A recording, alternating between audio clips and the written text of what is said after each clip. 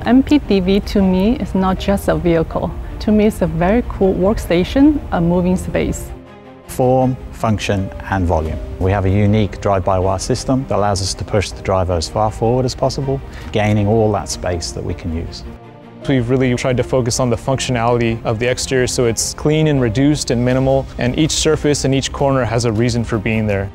Between the lights is this plane of glass that's able to uh, actually open up and this allows a pass-through for uh, small packages and it's also good for uh, food vendors. We try to make everything super clean, simple and easy to use and definitely abuse. We try to bring this open area, open space that you can pretty much do whatever. It's like a blank canvas. It's modular inside and out. The construction is reduced to flat panels, which is easier for manufacturing. It's uh, more economical. And the flat panels also make it ideal as a moving billboard.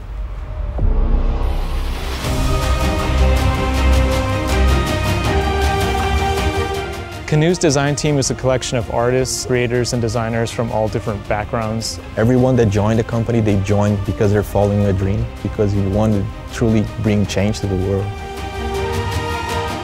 Winning the Red Dot Design Award is awesome. It's a big deal. We know that uh, there's a lot of great design out there. To be recognized at the top, we're, we're really flattered. We will bring more meaningful product to the whole world.